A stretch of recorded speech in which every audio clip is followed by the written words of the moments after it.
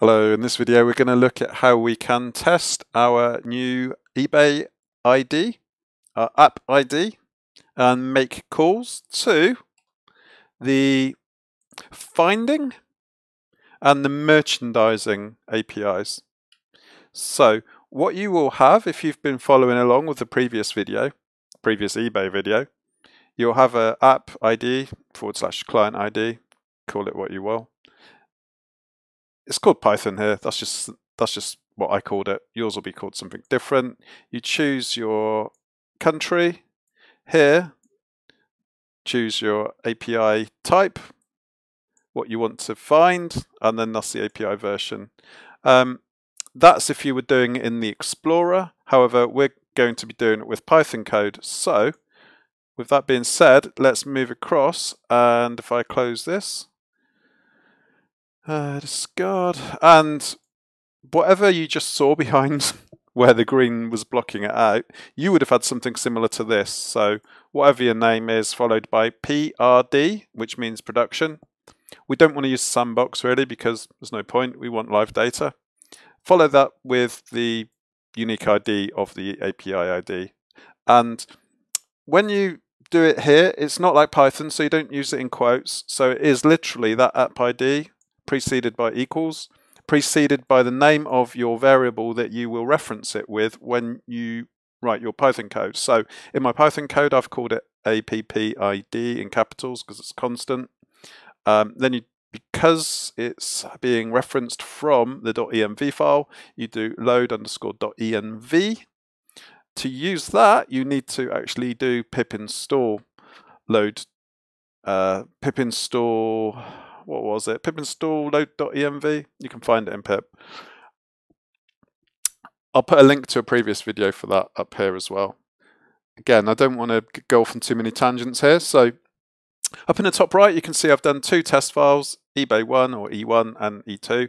And if I do LA, it shows hidden files. So I've already set up my .env hidden file in this format. So app ID equals and then my own personal app ID. So this code I got from Timotheus. If you go on GitHub and you Google for eBay SDK, you will find it. And this was the sample code, but I've just slightly modified it. I've taken out the asserts, which were basically tests. And on this line, from eBay SDK merchandising. That's the important thing because we want to work with the merchandising API. In some previous videos, I've used finding and browse and so on. I just thought for a change, I'd show merchandising. So again, load the API app ID into a variable.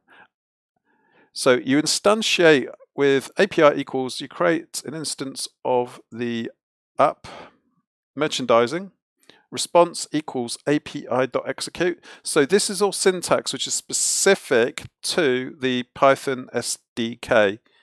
Um, Python is not the most popular because typically you would have a front end running JavaScript or whatever. And what we're doing here is really back end type of code. So all we're going to be doing is we are going to be using the merchandising API and we are going to get the most watched items. As you can see, maximum results 10. And we are going to just print the dictionary, which is, well, the response, which is in a dictionary format.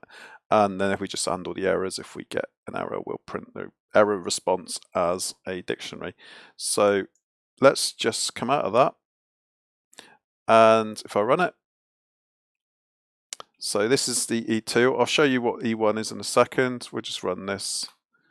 And if we get success, we will get some products. So it's simple as that. Register for your API. Once you've got it, put it in an env file, use the sample code. With the sample code, you can get live eBay data. And I got 10 items there, and the, the final one there it happens to be what looks to be an iPhone um, there we go. we've got a link to the image, buy it now price, watch count, shipping cost. So that is the merchandising API. And this is just going to be a quick introduction video, really just showing how simple it is. You get the app ID from when you register. You put that in a .env file. You don't have to. You could actually put it in the code, but it's a bit dangerous if you end up thinking, well, I need to share this code with someone else, or you want to put your code on GitHub, and then you're publishing your API key to the whole world. So best to use a .env file. Here we go into first file. Now, rather than the merchandising, what I did here was the finding. So this is finding API, similar format, API, and then an instance of, that's called connection there, but response, the syntax was slightly different. Hmm. The documentation is on GitHub, so pretty much copy that, but then you can modify and strip out the assert lines. And you could then again modify find items advanced. You could change the keyword from lego. In fact let's change that from lego. So ci comma to um, what should we look for? Um I, I, I don't know. Snooker think it'll work if we have a space in it. Let's try it. Snooker table. And then if we do Python e1.py,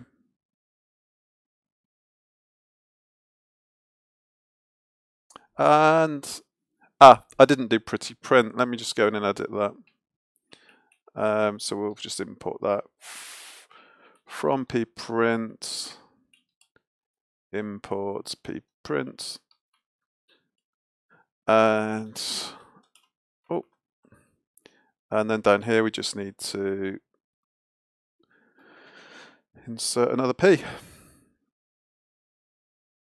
I will do it there as well.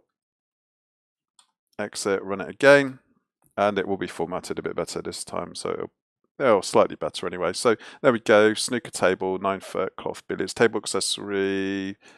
It's finding anything with snooker plus table. There we see the snooker plus table. See that there. Um, so yeah, good. That is how to use the finding and the merchandising APIs. Very quick demo.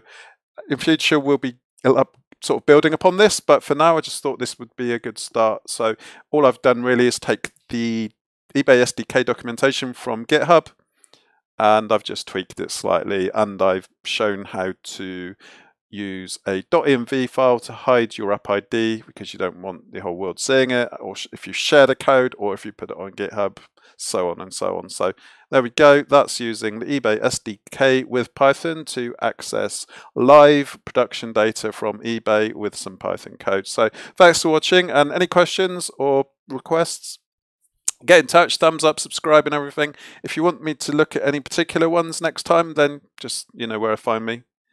Add something in the comments and uh, back soon. Thanks for watching. See you next time.